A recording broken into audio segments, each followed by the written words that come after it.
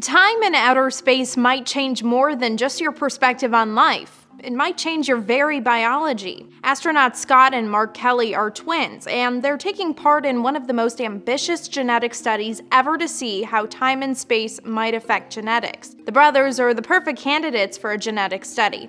They're almost genetically identical, and one spent nearly a year in space while the other stayed on Earth. The official results of the study aren't out yet, but initial results are showing interesting differences between the twins. One difference was in the telomeres, the protective bits at the end of our chromosomes.